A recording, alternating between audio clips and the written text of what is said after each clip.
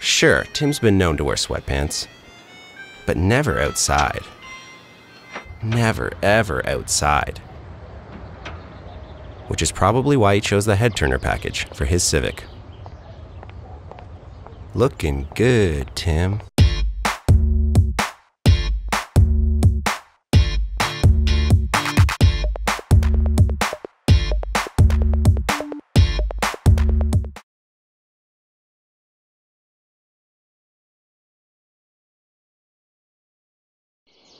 Okay, so what if Jason wears SPF 60 every day?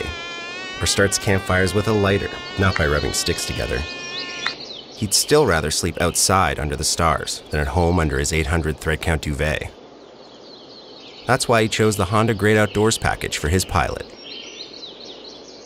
Take it all in, mountain man.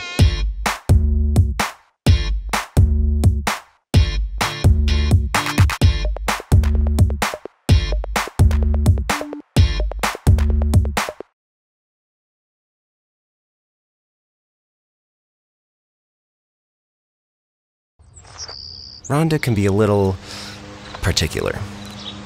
To the point, her house cleaner once tried to hire her. Choosing the Type A package for her HRV was kind of a no brainer. Good eye, Rhonda.